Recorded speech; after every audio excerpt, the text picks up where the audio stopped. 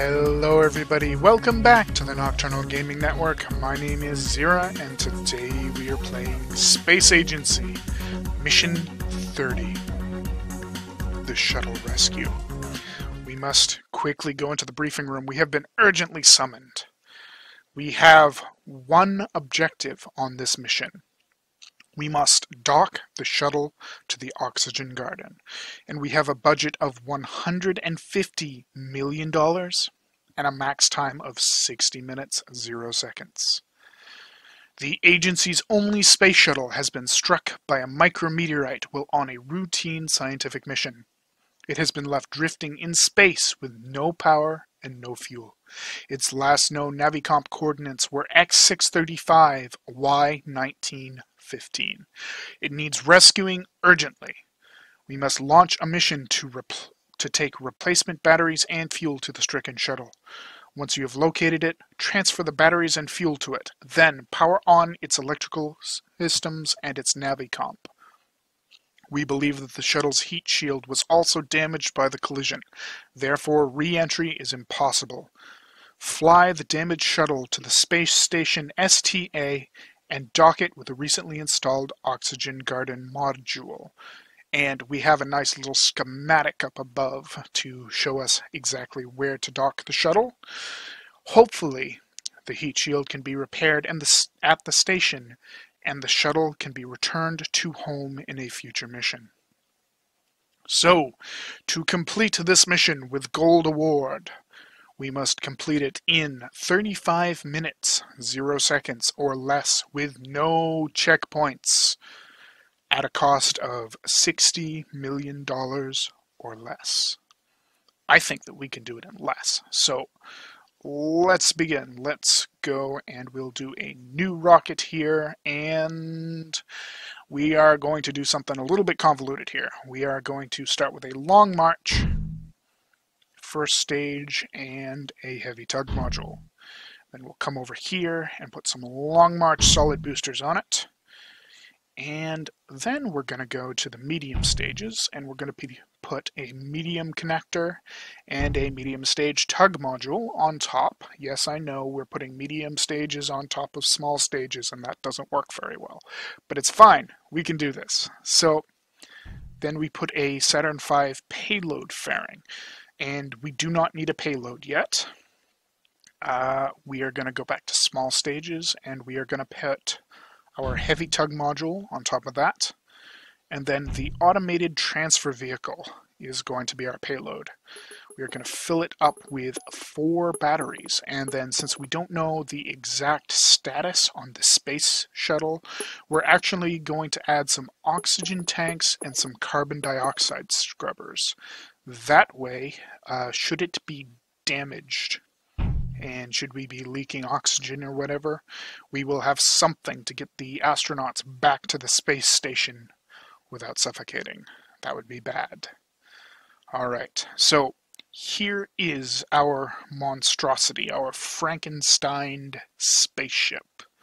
And we have uh, we have a low escape rate on this one. We are only going to be making it 61% of the way, which, if you remember from a previous video, I said that the cutoff is really 60%. If you if you are at 60 or less, then you really aren't going to be able to pulse your way into the, well, out of the atmosphere. Um, so we're going to be we're going to have to be very careful with this one on our way up. So let's see here. We have a total cost of thirteen million six hundred and five thousand dollars, which is dramatically less than our overall budget of one hundred and fifty million dollars. And yeah, so I think we're ready. Um, just so you know, I'm going to launch it and then while we're flying towards our target, I will explain why I've used the multiple different tug modules and stuffs. So let's get going. and we're going to skip ahead and try to launch it about five, three and a half seconds. Three, two, like that. Booster ignition and lift then we want to fly. We want to do solid boosting for as close to 10 seconds as possible. So right about like that. Then I'm going to start pulsing. And I'm going to try to start turning early. There we are. Perfect.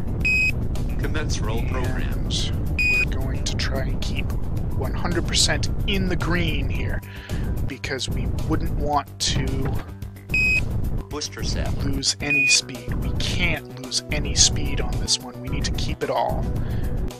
And we're just going to do some pulsing and we're going to try and do a little bit of uh, dolphin diving. I think I called it dolphin diving in one of the previous episodes. So let's do some of that where we kind of flick the control to the left and that you know kind of gets us moving in an upward direction above our angle and then we can kind of let use that to do longer pulsing and keep us at the correct angle. Ooh, we are so close to out of fuel here. Oh, but we made it. We're into space. Okay. Whew Engine and we are out of fuel. We're at a slightly weird angle, but that's fine. We want to go through and separate our fairing, and separate the rocket, and we want to go right when the red arrow reaches the right facing arrow on our main thruster.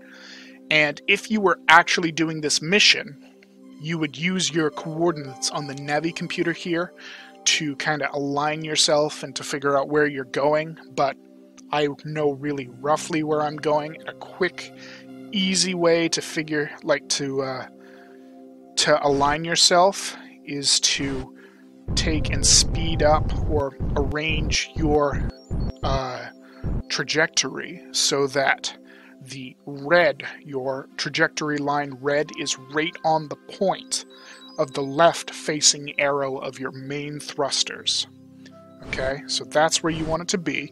We're going to line ourselves up straight and we are going to accelerate until we've used roughly roughly one third of our main engine fuel, or just above the uh, ADS target line. And this should actually put us pretty close to where we need to go. So what I'm going to do is I'm going to flip ourselves 180 degrees to our tra- trajectory to begin readying ourselves for our slowdown process. Yes. Boom. Oh. Oh. Ah, you know what? That's close enough. Close enough. We got this. Okay, so next we're going to go to our Navi computer and we're going to set up the STA as our destination. That way, when we are coming back, we already have it set. We can get it, you know, ready, and we can kind of gauge where our trajectory line needs to be. And looking at the x and y coordinates, I think we're probably going in the right direction. So, next, what are we doing here? Next, I am going to turn the power off to my ship because this is a long flight and because I've got so many modules on top of this heavy tug module, it's actually using the power really fast. So we've turned the we've turned the power off, we're ready to go. So now I will explain what's going on. So basically, you saw the Long March solid boosters and the Long March first stage. That was to get us out of the atmosphere and into space. Then we have this heavy tug module, the bottom heavy tug module. The sole purpose of this bottom heavy tug module is to fly us through space, to get us, um, what's the correct word? How can I say this? To bring us to the space shuttle. That is the objective of this. Then we will separate the first heavy tug module and the medium to medium connector. Then we have the second heavy, uh, the medium stage tug module. The job of this medium stage tug module is to get us actually docked with the space shuttle. And if we don't quite make it with the fuel of our first heavy tug module, uh, this can kind of provide some extra fuel for us to get to the space shuttle. Or we run out of batteries or something, you know. So, when we use the medium stage tug module to dock with the shuttle, that's going to break the payload fairing, at which point we use the remainder of our fuel in the medium stage tug module to just send it off some random direction because we don't want it getting in the way. We just need it out of the way because it's going to have some fuel. Since we broke the payload fairing, it's we're going to get control of it back, and you know we just don't need it anymore. So what we're going to do is take the third module here, the second, the top heavy tug module, and we're going to use that to transfer a battery to the space shuttle. Then we can turn the space shuttle on, we can turn the Navi computer on, and then we can start transferring fuel into the space shuttle. And we'll use the fuel from the heavy tug module on top. Once that's done, we can undock the space shuttle from the heavy tug module, separate the tug module and the automated transfer vehicle, and then attach the transfer vehicle to the space shuttle once again. And then we have a second vehicle full of fuel to help us get back to the station. And we'll do some interesting things when we're speeding up the uh, shuttle to kind of, you know, make it do its thing. But you'll see that in a little bit. So, let's turn the power back on here. We need to turn the Navi computer back on. And let's find out where we are here. Ah, so we're doing great. We are at 430 by about 950. So let's go back here and check our briefing. We are aiming for 635X 1915Y. So we are we're you know two two thirds of the way there, give or take. I think it's two thirds is probably a good estimate. We're about 900 off by about 200 off. And we'll just keep an eye out because we're pretty close to the shuttle right now.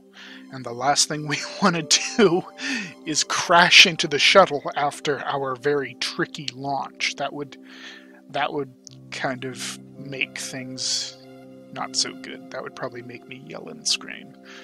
And that that would not be fun. But that's fine. We're not going to. We're good. Uh, so we have about 100 left in the X by about 500 left in the Y. So we've got about a minute. So let's zoom out here all the way.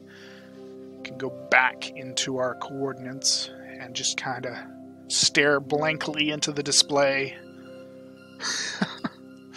Because what else do you do when you're flying through space? Just kind of stare blankly at the instruments and hope you don't run into something. Yeah. Now, there's got to be more skill involved than that. But it's fine. We got this. We are just about there for the X dimension, and we are about 200 off for the Y. So, let's start looking for the shuttle here. Let's start peeking down and see Ooh, there's the shuttle. We are right there. So let's start slowing down because we do not want to hit it. Okay, we're at a reasonable speed. Where is the shuttle? Approaching now? engine Oh no! Ooh, I hit the wrong button. There we are. Okay. Keep slowing down. So we're almost out of fuel. That's fine. That's great. We're going to off. separate our Stage module right now. Separate the connector, and we're actually going to spin around because we're going to try and catch the shuttle um, right here. All right, so we need to get over. Ooh, this is going to be close. Kind of rotate. Get over there to be a little bit faster. Oh! Thruster propellant low. Oop, oop, oop. Oh no, I am not doing it.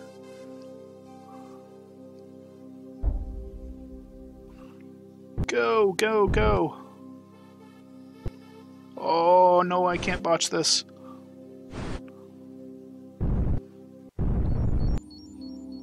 There we are. Perfect. And that's gonna. Oh, oh, that is so perfect. It just, it just bumps, and it's out of the way, and we are just gonna kind of send it off in this direction right here. There we are. We are just That was completely perfect. That was almost, almost bad. All right, so take the heavy tug module's battery, and then we go over to the shuttle. Flight batteries low. And why can't I turn the shuttle on? Did I? Oh, I never actually put the battery into the shuttle. Uh, come on, you can do it. There we go. Okay, so now I put the battery into the shuttle, turn the shuttle on, turn the fuel on, start taking the fuel out of the heavy tug module, and while we're doing that, we will turn the Navi computer on. It's booting up, getting ready to go. Uh, then we can come back online. here, and we can stop this movement and stop the rotation. Alright, that's perfect. So check on the fuel. The fuel is all done. We've stolen all the fuel out of the shuttle. So now we want to go back here and we want to use this is very important. Separate the shuttle from the automated transfer vehicle, not the other way around. Because if you separate the transfer vehicle from the shuttle, it crashes the game. It's done it every single time I have tried it.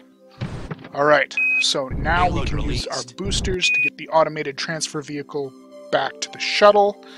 Perfect, and just like this. Epic. So now we will turn the turn the uh, successful. Power, connect the power, and then we can grab the shuttle and we can rotate the shuttle. We want to be aiming our trajectory really, really roughly at the corner where this menu and the top meet. So, like right there, like right here where our trajectory currently is. That's the target. That's where we want to be pointing. So what we're going to do is we're going to kind of use our thrusters and we're going to rotate to the right and then once we pass our trajectory line, we hit our boosters and that's going to allow us to keep boosting just like this. And we'll do it again. So once we pass the trajectory line, hit the boosters, there we go. And because we have the automated transfer vehicle hanging off the left side, that's kind of gonna, you know, do its thing and start the space shuttle spinning. But that's okay. That's fine. That's perfectly fine. Slow this down and we will do one last boost. So from about here. And actually, I want to boost only from the left side of the trajectory line because I don't want us to be going upwards that much anymore. There we are. That's probably fine for right now. Let's go back to our fuel, turn our fuel on, go back to the shuttle, and we will get the shuttle filling up on propellants again. Okay, so our next obstacle is going to be the sun. The sun is a great big planet in the middle of our uh, destination. So, what we're going to run into is we're going to have to watch out for its gravity.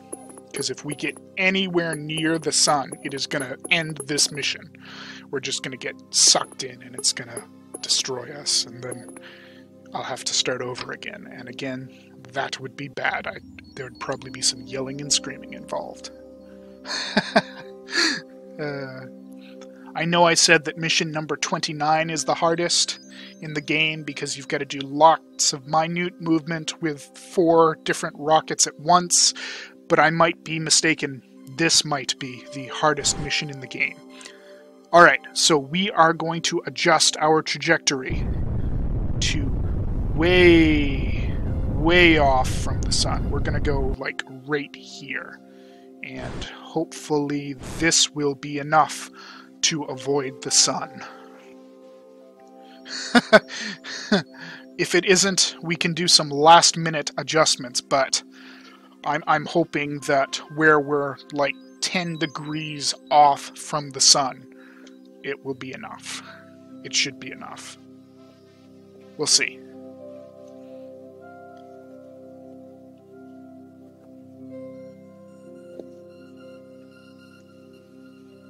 Another thing to keep in mind is we're actually going at a pretty high speed. So any more boosting that we do with uh, the shuttle, we want to make sure that we do the burst boosting in reverse so we don't speed ourselves up anymore. Because if we do, we're probably going to end up running out of fuel before we uh, make it to the portion where we have to slow ourselves down. And if that happened, then I don't know what we do. Okay, so there goes the sun. We are we are passing the sun. What angle do we need to be at for station? I'm going to adjust ourselves. I'm going to slow us down, and I'm going to put ourselves over this way some, and I'm going to turn 180 degrees.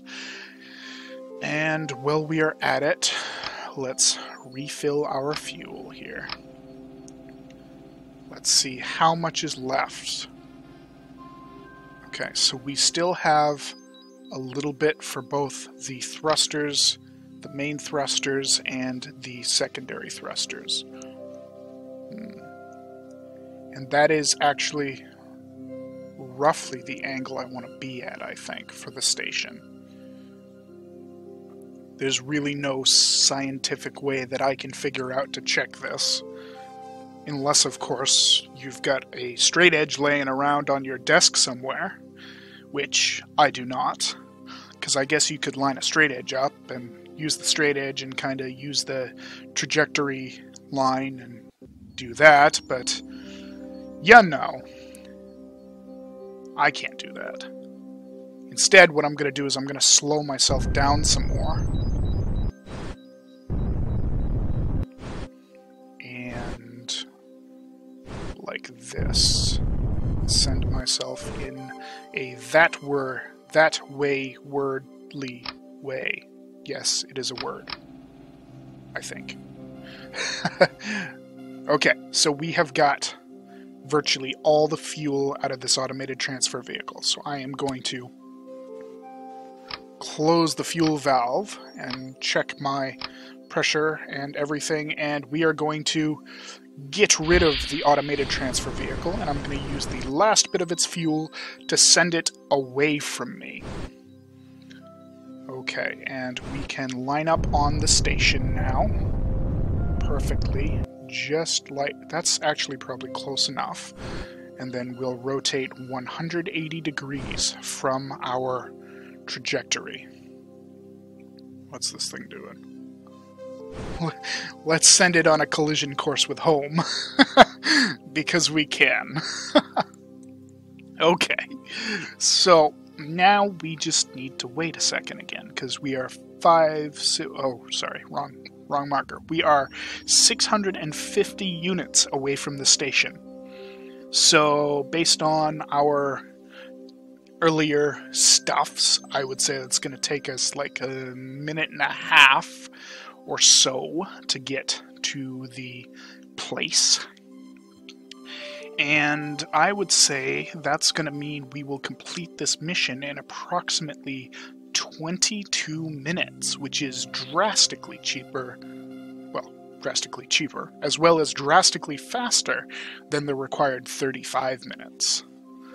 So we're doing good. We just need to just need to hold ourselves together for a little bit longer.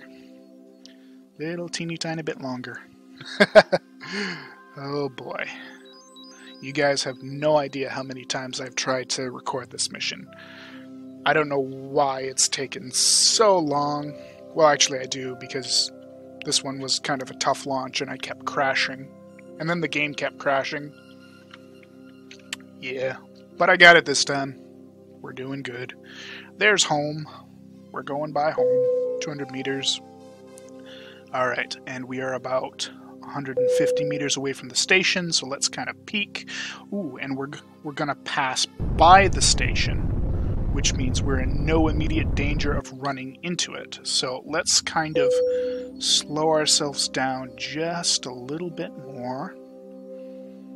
We'll just kind of peek. We're gonna be like at the perfect location. We're almost at the perfect angle. Oh boy.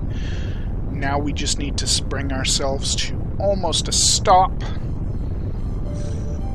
Right about there, that's probably good, and we'll rotate ourselves 180 degrees so we are ready to ready to um, dock with the station. Boom, just like this.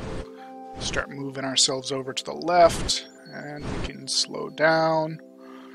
We're not at quite the right angle, but that's okay. Stop right about here. That. Oh, that was weird. I don't know why I just heard the game music. Huh. Either way, we are docked. We are completed. The mission is done. we have got a gold award, and mission the time complete. is 20 minutes 53 seconds at a cost of $13.6 million. Thank you all so much for watching. My name is Xeriua. This is the Nocturnal Gaming Network bringing you Space Agency. Have a wonderful night.